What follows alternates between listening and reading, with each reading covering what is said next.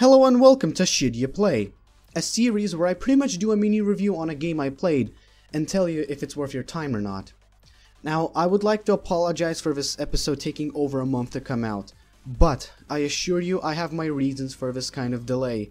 Stuff like health issues, school, and the unexpected re- return of my brother, etc., have been holding me back. But I'm hoping to get back on track with videos soon, so um, look out for that, I guess. Anyway, with the unrelated real life notes out of the way, on today's episode we'll be taking a look at Alpha Runner by Lightsout Games. So, what is this game? Alpha Runner is an endless runner game where the obstacle is to get as many points as possible while going through the stage.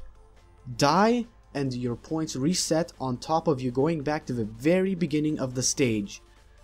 That's as best I can describe it. The game has various modes, such as Normal, which is your standard fare endless platformer, MLG, which, on top of having one of the cringiest names imaginable for a game mode, is essentially the hard mode version of normal stages. Basically, imagine the normal stages on crack.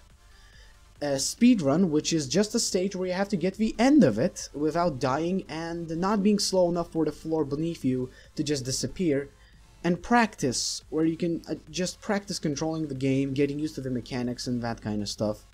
Uh, the game also has multiple playable characters, such as a character that runs faster, a character that jumps higher, a double jump character, a character that attracts the diamond-shaped objects you need to collect to progress, and the regular average Joe character that has multiple skins, but he doesn't have any special abilities, other than the fact that he can jump.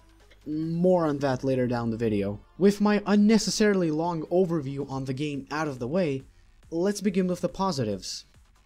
The first positive I'll give for this game are the graphics. It doesn't have much going for it, but having complex graphics doesn't usually mean the game is better. And for this one, the simple graphics it has are quite appealing for the type of game it's trying to be. So I think Alpha Runner looks generally nice. The next positive I'll give for the game is the leveling system. While it is purely cosmetic and doesn't seem to offer any kind of reward, it adds some sort of replay value for those people who are interested in seeing how much they have progressed since starting the game. And as always with every single other video that I make on this series, the third and last positive I'll give for Alpha Runner is its difficulty. While from the outside perspective it looks like it's not that difficult, you know, something that everyone can just jump into and play. But I can assure you that that is not really true and this game is not for everyone. The game requires almost pixel perfect precision and challenges even the most agile players. I mean, I beat Super Hexagon 6 times. I played Open Hexagon for over a year and I'm now currently running my third year of playing OS. Yet, I still struggle to get 10 points on this game consistently. It's something like Super Hexagon in terms of difficulty basically. Um, it's easy to learn, but it's very hard to master. And naturally, let's begin with my three negatives for Alpha Runner. The first negative I'll mention is the control yeah, it's not so great. For a game that requires you to be pretty much pixel perfect with how you do the jumps, the controls feel unexplainably stiff. In the speedrun game mode, it outright feels unresponsive. Alright, look at this example right here. It looks like I just ran off the edge without even jumping, right? Wrong. I was actually hitting the jump key, but turns out, the jump key in that moment turns off the prompt that tells you what you need to do in the stage, causing many unexpected deaths like this. The next negative is the soundtrack. Now, I'm usually very easygoing when it comes to video game music.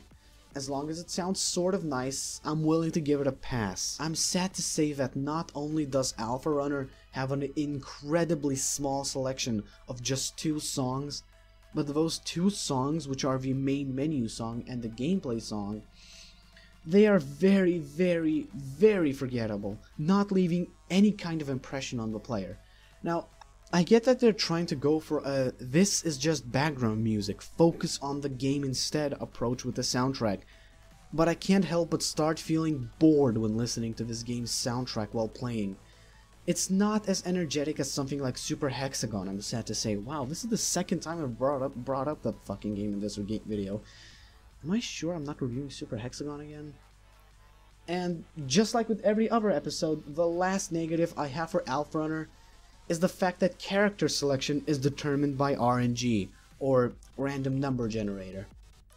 For a game like 100% Orange Juice, which is dice based, it works, as in the entire RNG concept.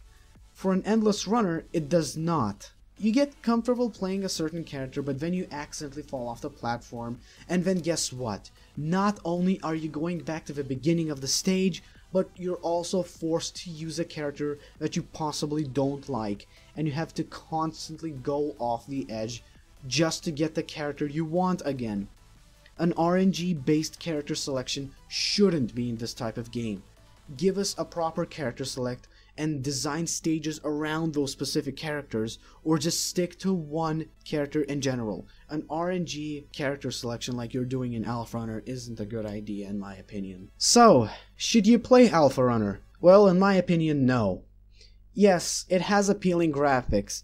Yes, it has a leveling system for those who care to see how much we have progressed since starting the game. And yes, it's easy to learn, hard to master, which could be appealing for some types of people. But the stiff controls, boring soundtrack, and RNG based character selection that this game entails just makes me drive people away from this game. If you're not paying more than 50 cents for this game, then have a go at it, I guess. But anything more than that, and you're not really getting your money's worth. There are better endless runners to play, Stuff like Melody's Escape I hear is pretty good, and I'm not sure if this counts, but Super Meat Boy is better than this game. But no, I don't think you should waste your time on Alpha Runner unless you're just getting it on the cheap and you can't afford something better. Thanks for watching.